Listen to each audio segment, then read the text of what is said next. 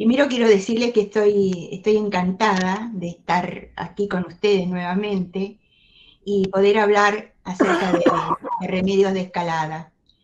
Eh, remedios de escalada es la faz amable, es eh, la, faz más sensible de la vida de San Martín.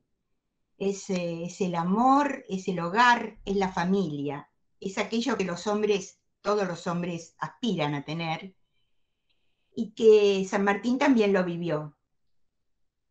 No lo manifestó tal vez como otros hombres porque era muy reservado, era muy pudoroso en sus sentimientos, pero hay muchas manifestaciones de la importancia que tuvo en su vida Remedios de Escalada.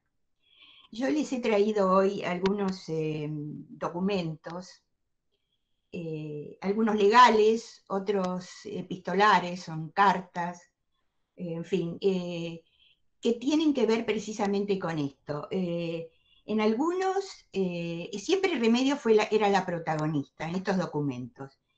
Y San Martín se involucró en algunos para protegerla, en otros para dar testimonio de la confianza que tenía en su esposa. Así que primero voy a dar los puntos claves de su biografía y luego me voy a dedicar a esto que me parece que es muy interesante. No digo que no se conozcan, porque en historia no hay nada que, no se conozca. Hay gente que dice, em, esto no lo sabe nadie. Sí, alguien lo sabe seguramente, pero este, son, están poco divulgadas, por eso me interesa transmitirlas.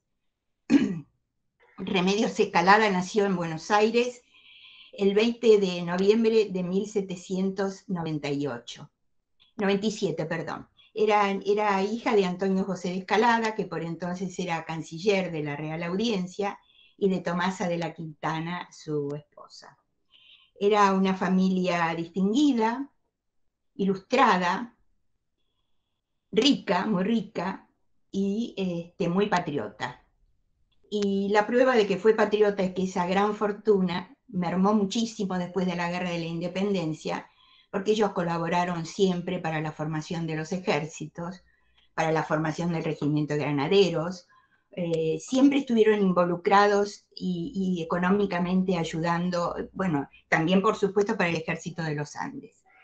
Y además colaboraron porque entregaron a su hija al, general San Martín eh, en matrimonio, a pesar de las dificultades que, corrió primero este, este romance, porque primero no querían que se casara con él. No sé si todos, pero sabemos que doña Tomasa era una férrea este, señora que no, nunca simpatizó demasiado con San Martín. Y el matrimonio tuvo que luchar para constituirse. Eh, Florencia Lanús, que es una descendiente directa de, de los Escalada, escribió en un libro, Tradición de Familia en Lenguaje Familiar, en el que cuenta todo esto y cómo se resistió remedios a, la prohibición de sus padres de, verlo a San Martín, y que como no pudieron sacárselo ni de la cabeza ni del corazón, tuvieron que consentir el matrimonio. Y se casaron se casaron San Martín, ustedes saben, bueno, no voy a ser reiterativa, que San Martín llegó en 1812 y, se le encomendó formar el regimiento de granaderos, etc. Eh, no sabemos dónde se conocieron, posiblemente Alvear, que era su amigo entonces, lo haya introducido en los salones porteños. Y en alguna de esas tertulias que existían, la debe haber conocido. Se casaron el 12 de septiembre del mismo año.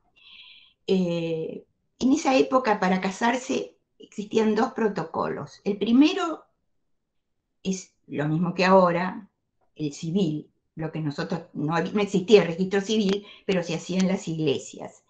Era, era privado, era con los, padrinos y los, testigos, y este, este, y se firmaban todos los recaudos necesarios para que el, casamiento fuera legal.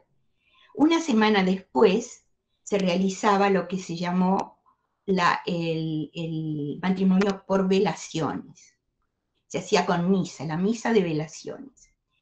Entonces sí, era la gran fiesta en la catedral, fue el 19 de septiembre, y, las velaciones consistían en cubrir la cabeza de la novia y los, los hombros del novio en un velo blanco, que significaba eh, la pureza, eh, la mutua entrega y la obligación de crear una familia cristiana. Y después de eso se hizo un famoso sarao en la casa de, los padres de Remedios, eh, que Arturo Capdevila le, inspiró un, hermoso poema que se, llamó, se llama Romances de, la boda de Remeditos, que comienza Remeditos, Remeditos, cómo le sienta de bien al capullo de la rosa la vecindad del laurel. Y sigue larguísimo, no lo podría decir ahora, pero es muy, muy simpático. El matrimonio vivió en la casa de, Escalada, mientras San Martín se proseguía su este, adiestramiento del regimiento de granaderos. Menos de un año después de llegado San Martín, se libra el combate de San Lorenzo. En el combate de San Lorenzo, San Martín afianza su confianza en, eh, la confianza que no le tenían y que la, que la crea en realidad, cuando se dan cuenta los, la gente de Buenos Aires que era sincero en, sus, en, su propósito de venir a liberar su patria, porque habían desconfiado mucho de él. Y uno de, de los motivos de su desconfianza era el sable corvo, el sable mameluco, que había introducido Napoleón en los ejércitos de Europa, que San Martín compró en Londres y que también usaban los corsarios ingleses. Eh, además, demostró que era un gran jefe, un gran líder, porque los granaderos vencieron, vencieron, a los españoles en ese combate que no era de gran importancia eh, militar para la guerra de la independencia, pero sí fue importante para ver eh, la, seriedad y la, capacidad que tenía este hombre para liderar este, el ejército. Eh, bueno, se suceden otras circunstancias. Eh, San Martín es, nombrado jefe del ejército del norte, pero él no quiere proseguir la, lucha por el camino del norte, eso lo sabemos todos, y, tiene otro proyecto, el proyecto de cruzar la cordillera y encontrarse con los amigos sólidos del otro lado, que son los, chilenos, que entonces para, por, en ese momento todavía estaban, eran, eran eh, libres, porque todavía no se había producido Rancagua. Eh, bueno, eh, consiguió que Posadas lo, nombrara gobernador intendente de Cuyo y se instala en Mendoza. Y lo primero que hace es llamar a Remedios. Llama a Remedios, llama, mejor dicho, escribe, porque no lo podía llamar, este, eh, y a sus padres.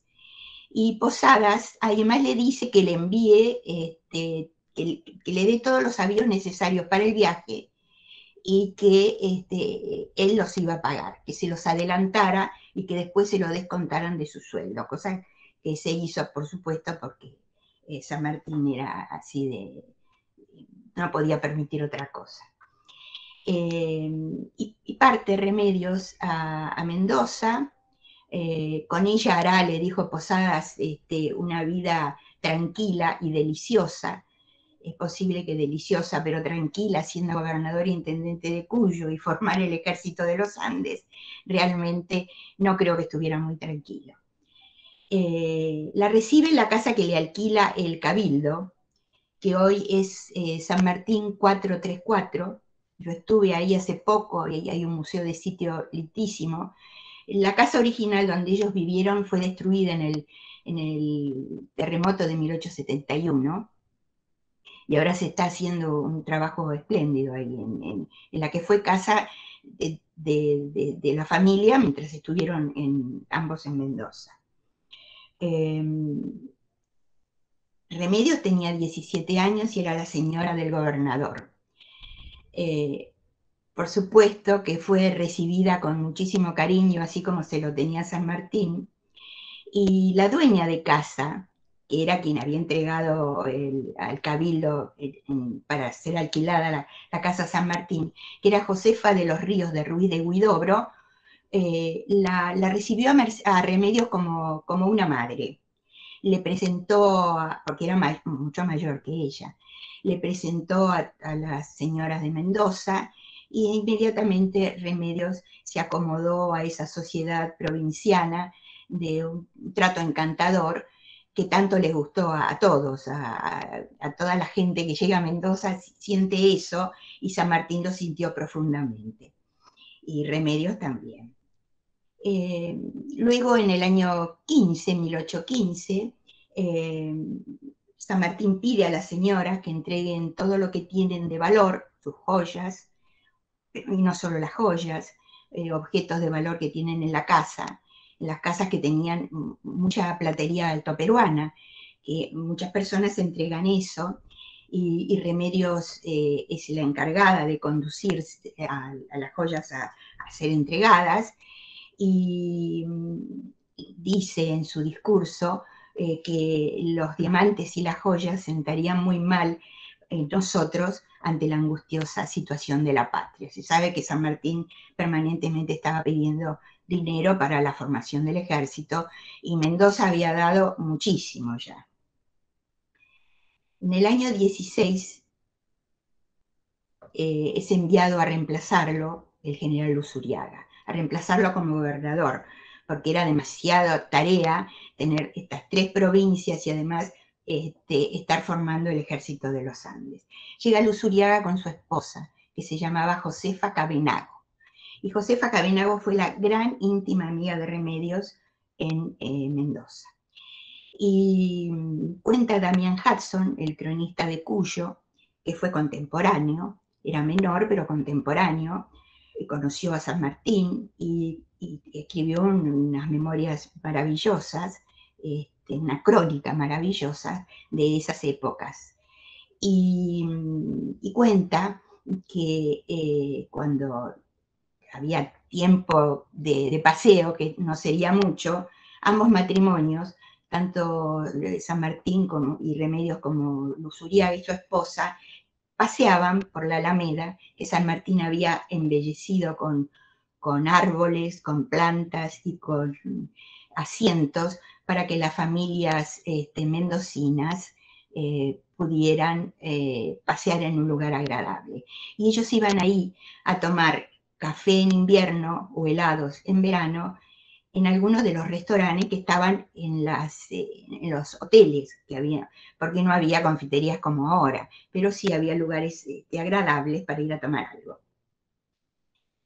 Ese mismo año, el 24 de agosto, eh, tienen su única hija, Mercedes, la infanta mendocina, que sería luego la compañera de su padre. Eh, sigamos. En el 17 ya está San Martín para la de vámonos, como decía, ya para cruzar la cordillera. Y entonces pide a las señoras que le confeccionen y le borden una bandera que sería señal para su ejército. San Martín la pide que sea celeste y blanca, como la había ideado Belgrano, pero que le ponga el escudo de la Asamblea del año 13, porque eso le iba a dar soberanía le iba a dar estatus de nación independiente. Eh, y él quería cruzar los Andes eh, como, representando a una nación libre independiente y sobre todo soberana, lo cual a él este, le importaba mucho. Y las señoras le bordan la bandera y el 5 de enero de 1817, en la Plaza Mayor, frente a la catedral, se levanta un estrado eh, y luego del solemne Te Deum ante las tropas formadas y el pueblo, con gran entusiasmo, oh, es bendecida la bandera de los Andes y eh, es enarbolada por San Martín y la bate tres veces diciendo, soldados, esta es la primera bandera independiente que se levanta en América. Y en ese mismo acto nombra eh, patrona del ejército de los Andes a la Virgen del Carmen de Cuyo y, también generala de su ejército. Y aquí eh, eh, San Martín comienza el momento del cruce de los Andes y Remedios parte a Buenos Aires para vivir en, la casa de sus padres y van con, va con Merceditas, que sus abuelos todavía no la conocen. en esa época, 1817, eh, Charles Durán era un miniaturista que eh, pintaba a la mayoría de las señoras de, la sociedad de ese momento y la pinta a remedios. Y esa miniatura es la que todos conocemos, es, una mujer de, en esa época tenía 20 años, eh, con su traje estilo imperio, con su frondoso pelo muy lindo y muy bien arreglado, y, con su carita de camafeo, porque eso es lo que así era, eh, con su boca pequeña, nariz recta y ojos enormes, como dicen todos que los tenía. Es, la, imagen que tenemos todos cuando pensamos cómo era eh, Remedios de Escalada. Se sucede, bueno, la epopeya del cruce de los Andes, la, libertad de Chile, después de Chacabuco y Maipú, y en 1818 eh, San Martín, luego del triunfo que ha tenido, eh, viaja a Buenos Aires para entrevistarse con Pueyrredón y arreglar eh, todo lo, concerniente a la expedición marítima que se piensa llevar a cabo al Perú para su libertad, para su liberación y también para buscar a su familia. Y parte, parten los tres a Mendoza nuevamente, a la ínsula cuyana, eh, a la Tebaida, como la llama San Martín, y em, hacen planes para cruzar la cordillera con la familia, juntos. Eh, le escribe a O'Higgins diciéndole que va, va a ir eh, remedios con la niña y que O'Higgins le contesta encantado porque se han hecho muy amigos. También la familia, la madre de Isabel, la madre de, O'Higgins, y su hermana Rosita son muy amigos de, Remedios, y entonces le dice que, pida todo lo que quiera, que la van a recibir, y que la van a ir a buscar al pie de los Andes para llevarla a su casa, etcétera, etcétera pero no pudo ser.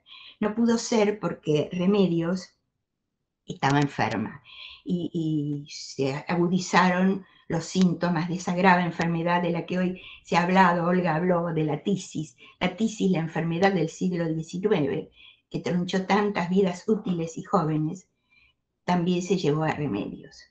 Eh, y no podían ir con una niña, una beba, este, cruzar la cordillera enferma, tampoco San Martín tenía buena salud, entonces debió regresar a Buenos Aires. Eh, y así lo hace. Eh, se dice que San Martín la acompaña hasta Río Quinto y ahí se dan el último adiós. Ellos no lo saben, ellos creen que van a volver. La prueba está que han quedado en Mendoza eh, ropa de remedios, su mantilla de bodas, un rosario, en fin, de sus, muchas de sus cosas y, muebles, todo, porque ellos pensaban reencontrarse allá. Pero este, Remedios parte entonces a Buenos Aires y ahora voy a empezar a leer porque quiero ser mucho más precisa.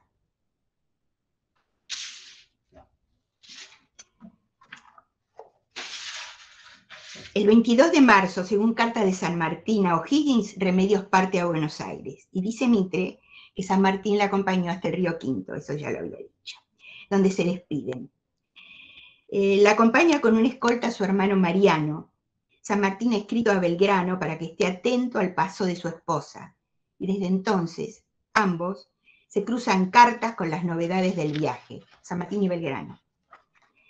Desde una partida de montoneros de Stanislao López que se vieron en las cercanías de la posta de Desmochados, donde se encuentra la Patricia, esperaban el resultado del pacto o armisticio de San Lorenzo, que se firmaría el 12 de abril de 1819 entre Stanislao López, gobernador de Santa Fe y jefe de las fuerzas sublevadas del interior, y Belgrano, jefe del ejército directorial de Buenos Aires.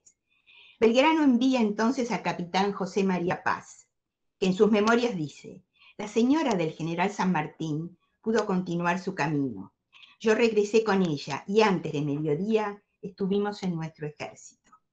Al siguiente día siguió dicha señora, señora sin la menor novedad. El 7 de abril Belgrano escribe a San Martín. Al fin está, está libre de cuidados y pienso detenerla hasta ver más claro. Y posteriormente, la señorita Remedios, con la preciosa y viva Merceditas, pasó aquí felizmente y según me dice el conductor del pliego, había seguido bien hasta Buenos Aires. El 9 de abril, San Martín escribe a O'Higgins, creo que Remedios habrá llegado a Buenos Aires, pues me escribe desde reducción. Son postas todas estas, ¿no? Los numerosos mensajes cruzados existentes en los archivos de San Martín demuestran con cuánto cuidado y atención fue seguido el, viaje de Remedios por su esposo y el general Belgrano. Me referiré ahora a un tema que me resulta ingrato. no me gusta hablar, pero hay que hablarlo. Es larvado a veces, otras veces con ribetes de escándalo, algunos pseudohistoriadores sin sustento erudito y escritores mediáticos con intencionalidad de escándalo resucitan cíclicamente un antiguo libelo surgido de los enemigos de San Martín que pone en duda la honestidad de su esposa Remedios de Escalada, convenientemente aderezado, y lo presentan como novedad rescatada de pacatas generaciones que lo escamotearon a la consideración pública. La maledicencia florece en la ignorancia y la única manera de conocer la verdad de un hecho histórico es su exploración exhaustiva y seria. Al tiempo en que Remedios parte a Buenos Aires y se refugia en casa de sus padres para recomponer su salud, se ha profundizado el turbulento movimiento de odio y venganza que hemos dado en llamar guerra panfletaria, desarrollada desde 1816 con la publicación de grabados y caricaturas ofensivas, ridiculizando a sus oponentes, y proclama panfletos y libelos maledicentes en las que atacan especialmente el honor de sus adversarios. Por la imprenta, movida desde Montevideo, por los enemigos de San Martín, O'Higgins, Pueyrredón, Luzuriaga, y todos aquellos que llevaban a cabo el proyecto independentista liderado por San Martín. Eran esos enemigos los imprenteros chilenos Gandarillas y Benavente, que huyeron de Buenos Aires en 1816, a los que se une el general Alvear en 1818 y se instalaron en el ocupado Montevideo bajo la protección del gobernante portugués general Lecor.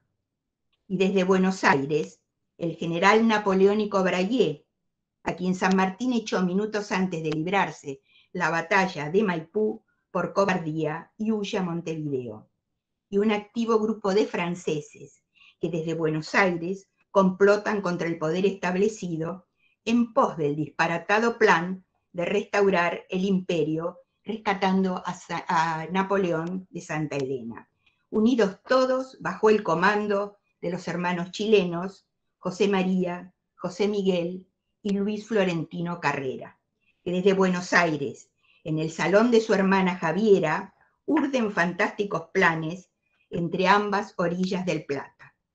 El objetivo era eliminar a San Martín, O'Higgins y Pueyrredón, y tomar el poder en Buenos Aires y Santiago.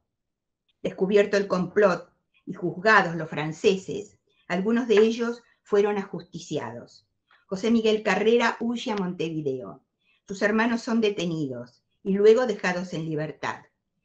Pero lejos de abandonar sus propósitos, intentan cruzar territorio rumbo a Chile, ocasionando en su huida hechos criminales, entre ellos la muerte de un postillón. Detenidos en Mendoza, son juzgados y fusilados el 8 de abril de 1818. Al enterarse de su muerte, el espíritu vehemente de José Miguel Carrera, que lo impulsa a considerar el destino de su patria enlazado por Dios al de su propia familia, y generó en su alma un odio tan profundo contra los que considera asesinos de sus hermanos, que la causa de la libertad de Chile, que enarboló al iniciar sus acciones armadas en el río de la Plata, fue reemplazado por su propia causa, la venganza, La sangre de los Carrera pide venganza, venganza, compatriotas, y atenta contra el honor de sus enemigos. A San Martín le llaman monstruo, ladrón, tirano, vil asesino. Con O'Higgins se ensaña, lo denomina el Riquelme, aludiendo a su apellido materno como hijo natural. También el guacho, ingrato y pérfido, hombre mal nacido, engendro de un potro inglés con una yegua quillaneja. Al Usuriaga, gobernador de Mendoza, cobarde y afeminado, verdugo de esos monstruos que vomitó el infierno. Interviene con sus fuerzas de chilenos e indios en las luchas civiles argentinas. Acompaña a Ramírez y comanda malones sangrientos como el de Salto en 1820. No abandona las publicaciones desde una imprenta volante que lo acompaña siempre, desde la que salió el libelo que hoy es tema de nuestro interés. Malévolo rumor que involucra a un inocente joven, ajena por completo a sus propósitos, en una mentira urdida para deshonrar a su esposo. Hemos mencionado que, según dicho libelo, Remedios de Escalada engañaba a San Martín con dos oficiales del ejército de los Andes, llamados Pablo Murillo y Joaquín Ramiro, y al enterarse este, San Martín, los hace rapar y despide violentamente a su mujer a Buenos Aires.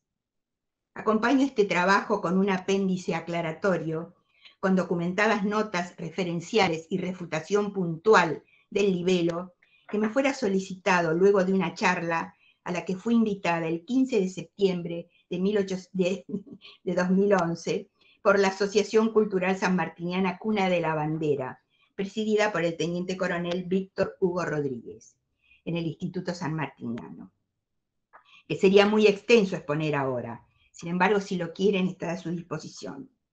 Brevemente, para satisfacer el interés de ustedes por conocer la verdad, investigada y documentada, les diré que nunca en ese año 1819 pudieron encontrarse en Mendoza los oficiales del regimiento primero de cazadores de los Andes, Pablo Murillo y Joaquín Ramiro, sindicados como galanteadores de remedios. Ambos cruzaron la cordillera con el ejército libertador en 1817 y no la traspusieron hasta el 27 de abril de 1819 al mando del general Alvarado, por orden de San Martín, llegando a su destino, Mendoza, el 4 de mayo. Sabemos que Remedios partió de esa ciudad en ese mismo año, el 27 de marzo, según carta de San Martín a Guido, y llega a Buenos Aires a principios de abril, por correspondencia referida al viaje de Remedios, cursada entre San Martín y Belgrano. El anacronismo histórico es evidente. Nunca pudieron encontrarse en Mendoza en 1819, pues Remedios había llegado a principios de abril a Buenos Aires, cuando los oficiales no habían cruzado aún la cordillera desde Chile rumbo a Mendoza. Por otra parte, nadie en su época hubiera dado crédito a este anónimo. Las víctimas conocían muy bien su origen, sus propósitos y hasta qué punto sus autores eran capaces de llegar con su maledicencia. En 1818, Miguel Sañartú, representante del gobierno chileno en Buenos Aires, escribe a San Martín. Los bichos de Montevideo inquietan con papeles incendiarios, varios amigos hemos tomado el empeño de batirlos. Y ese mismo año, Pueyrredón, a quien le han inventado una aventura amorosa, le dice, los virtuosos de Montevideo han desplegado su furor, inundando esta capital con libelos de varias calidades, llenos de suciedades asquerosas, contra usted, contra mí, Belgrano, etc. Para terminar este tema, diremos que ese anónimo permaneció durante casi un siglo mezclado entre otros papelones, hasta que lo haya el escritor e historiador Ernesto Quesada, que se había iniciado en el revisionismo histórico en Alemania. Y tal vez para refutarlo, lo exhuma y lo da a conocer en una conferencia pronunciada en la antigua Junta de Historia y Numismática, que además publica en la revista Fray Mocho del 29 de octubre de 1915, con el título de Cosas ocultas del ostracismo del general San Martín. No logra desmentirlo, por el contrario, le agrega condimento y desde entonces una construcción mentirosa que hubiera permanecido desconocida, se instaló como verdad revelada y se multiplicó en artículos periodísticos, novelas escandalosas y escritos mediáticos sin verificación de datos, fuentes y fechas. Hasta aquí el libelo. Nos hemos referido a ciertos documentos legales y distintos testimonios probatorios de la relación amorosa y armoniosa que existió entre San Martín y Remedios durante todo su matrimonio y la confianza en su capacidad que éste depositó en su esposa. La demuestran los dos testamentos que redactó en vida de esta durante la campaña libertadora. El 23 de octubre de 1818, desde Mendoza, dice que en caso de su fallecimiento, confiere a su esposa remedios de escalada un poder amplio y tan bastante como el que requiera y sea necesario para que perciba y se haga cargo de todos los bienes que posee su excelencia, disponiéndolos y administrándolos como le parezca, libre y francamente, sin intervención ni permiso de autoridad alguna. Disposición normal en nuestros tiempos, pero excepcional en tiempos en que, en general, no se permitía a las mujeres administrar el patrimonio familiar y era usual, en ausencia del marido, se nombrara siempre a un hombre como albacea. Muchos años después, el Código Civil de Vélez Arfiel de 1869 aún consideraba incapaz a la mujer casada para administrar sus bienes, ya fueran heredados o adquiridos, y estaba sujeta a la representación necesaria de su marido. Merece reconocerse de avanzada la actitud de San Martín al respecto y su reconocimiento implícito a la capacidad de su esposa. Ese poder permitió a Remedios tomar posesión de la casa que el gobierno le regalara a San Martín en, en Buenos Aires por sus triunfos de Chacabuco y Maipú, predio en el que hoy se levanta el edificio de la jefatura del gobierno de la ciudad de Buenos Aires. En el Segundo Testamento, el libertador, próximo a entablar combate, por la liberación del Perú, fechada en Pisco el 29 de septiembre, perdón, de 1820, a bordo de la goleta Moctezuma y dirigido a su comandante, Yang, con algún dramatismo escribe, si la suerte de la guerra me hiciera fenecer en ella, o bien caer prisionero, prevengo a usted que el baúl que contiene mis papeles reservados le será entregado a mi apoderado Nicolás Peña para que se lo entregue a mi mujer en Buenos Aires. Es interesante el análisis de este testamento. Preocupado por el destino de los papeles que consideraba más valiosos y que podrían caer en poder del enemigo, papeles de un general en jefe en campaña, poseedor de planes y correspondencia de valor político y estratégico, y en tiempos en que algunos pseudohistoriadores lo dan separado de su mujer, el general San Martín hacía remedios depositaria de los mismos. Está, hemos dicho, en la goleta Moctezuma. Ese, en ese mismo lugar recibe en 1820 a eh, un viajero inglés que le trae carta de su suegro, Antonio José de Escalada. Antonio José de Escalada encabeza esa carta diciendo, Hijo mío muy amado y que tanto esplendor das a mi casa, a pesar de tantos enemigos envidiosos que tienes por aquí. Y lo saluda por todos los triunfos que ha obtenido y además le dice, en la inclusa te hablará remedios de nuestro Chiche. La inclusa es una carta inclusa y Chiche es el apodo que recibía en Merceditas en la familia. Y se despide tu amante padre Antonio José de Escalada. San Martín contestaría, después de la toma de Lima, le contestaría a su suegro y le diría, amado padre, porque usted me ha dado pruebas infinitas de ser un padre.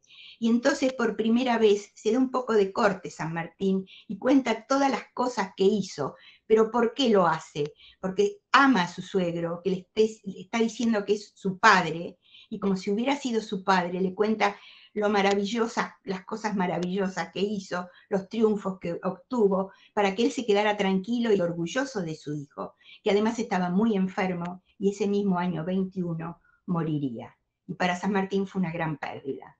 Y San Martín se despide diciendo, su hijo, tu hijo, Pepe. Así que sabemos que a San Martín le llamaban Pepe en la familia. Sabemos la importancia que le asignó a su librería, que lo acompañó cruzando mares y continentes. Cuando decide donarla a la Biblioteca Nacional de Lima que él funda, la hace conducir al Perú.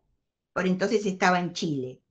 Y, eh, eh, dejó un, un cuaderno escrito en donde dice, estos cajones de libros se hallan en Santiago al cuidado de Pedro Campbell, los que en caso de mi fallecimiento se entregarán a mi esposa, doña Remedios de Escalada, en Buenos Aires.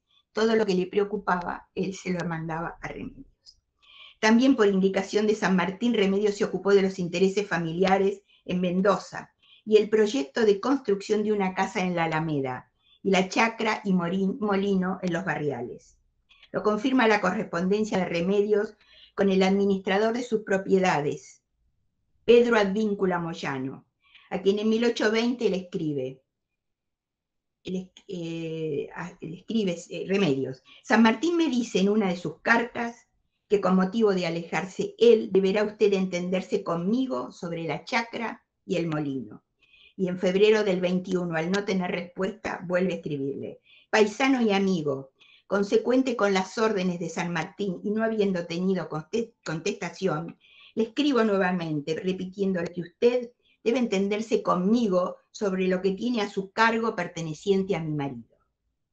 La carta es propiedad del señor Cristian García Godoy, inédita hasta 2006 y publicada ese año en la revista San Martín, órgano del Instituto Nacional San Martiniano. Por su parte, el doctor Rodolfo Terraño, en ocasión de su ingreso a la Academia San Martiniana el 23 de junio de 2013, pronuncia una conferencia titulada Mi querido amigo, una carta inédita de San Martín enviada desde Valparaíso antes de zarpar al Perú. Eh, ese es el título, en el que da a conocer una carta del Libertador destinada a Moyano, que le dice, y que le había comprado en Londres. Valparaíso y agosto 8 de 1820. Mi querido amigo, pasado mañana salgo para cumplir los deberes de un americano que desea la libertad de su patria Nada tengo que añadir a las prevenciones que le tengo hecha. Escribe a mi mujer en Buenos Aires sobre cualquier duda que se le ocurra y avísele todo lo que perteneciente a lo que usted tiene a su cargo. Escríbame a Perú por Chile. José de San Martín, etc. La carta inédita que presentamos es concluyente. Esto lo dice Terraño. ¿eh? Coincide con la carta que poco después Remedios escribió a Moyano y demuestra que no había existido en el matrimonio ruptura alguna. Así termina Terraño, ofreciendo otra prueba que ratifica la unión y armonía que existía en el matrimonio en el año 20 y la falsedad del libelo que ya hemos hablado. Un testimonio de gran valor nos dejó el viajero norteamericano Enrique Brackenridge, gran amigo de nuestro país, llegado con la misión Rodney para tratar relaciones diplomáticas con Estados Unidos. En su libro Viajes por Sudamérica en 1820 dice, la esposa de San Martín estaba viviendo con su padre, pero parecía muy deprimida de espíritu por su ansiedad a causa de su marido, a quien por todo lo que se decía era devotamente apegada. Percatándome de que no participaba en ninguna de las diversiones y averiguando el motivo, me dijeron haber hecho promesa por el éxito de su marido. Estas virtudes privadas y discretas en la familia de San Martín me dieron una opinión muy favorable del hombre. La excelencia y pureza de la vida privada es, en conclusión, el mejor cimiento de la confianza pública. Y rara vez nos equivocamos cuando esta fuente es pura.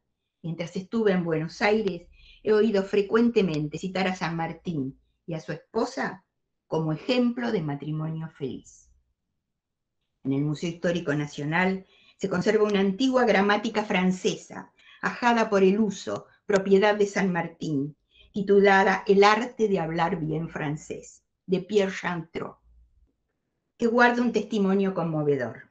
En uno de sus márgenes, en blanco, como efemérides de su ajetreada vida, un San Martín anciano, ya afectado por las cataratas que tanto lo molestaron, con letra irregular y vacilante, escribe las doce fechas que marcaron su existencia.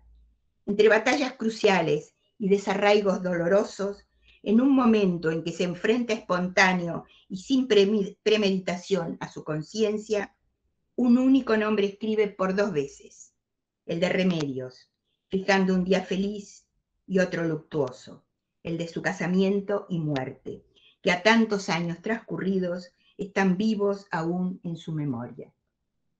Recordemos para ir terminando la necrología que a cinco días de la muerte del prócer escribió en el periódico L'Impartial de Boulogne-sur-Mer el abogado francés Adolphe Gerard, su último amigo y confidente, dueño del piso que alquilaba San Martín y su vecino cercano, con quien el ilustre anciano compartía a diario largos diálogos. En este extenso y valioso obituario, Gerard relata memorias que sin duda, sin ninguna especulación a futuro, el general San Martín compartió con su amigo. Recuerdos de sucesos y sentimientos que conmovieron su espíritu al final de su vida. Dice Gerard, al regresar a Buenos Aires, San Martín tuvo bien pronto el dolor de perder a su esposa, doña Remedios de Escalada. Esta desgracia no hizo más que fortalecerlo en su resolución de renunciar a la vida pública. Y más adelante, de acuerdo a sus deseos, sus restos mortales serán conducidos a América para descansar al lado de los de su esposa. San Martín pidió en su testamento que su corazón descansara en el de Buenos Aires, en el cementerio del norte, hoy Recoleta. No podía pensar en otro, sino el que él bien conocía, donde descansa Remedios. Antes de partir con Mercedes al exilio definitivo, cargado de gloria y de ingratitudes, San Martín ejecuta su último acto de trascendencia en la patria. En la lápida que la cubre le ofrenda la simple dignidad del mármol y un epitafio de sencillez sanmartiniana. Aquí descansa Remedios de Escalada, esposa y amiga del general San Martín 1823. La esposa es el amor, es el hogar, la intimidad.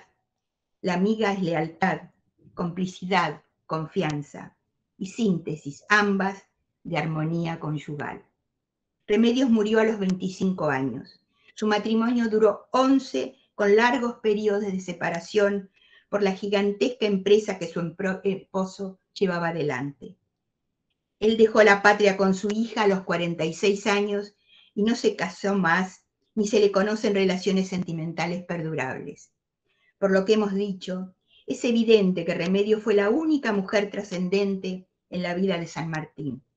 Por eso merece que su nombre esté unida al de su esposo en la memoria de la gente, porque fue quien le brindó calidez de hogar.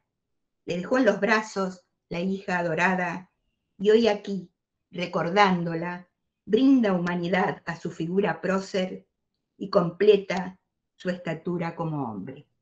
Muchas gracias.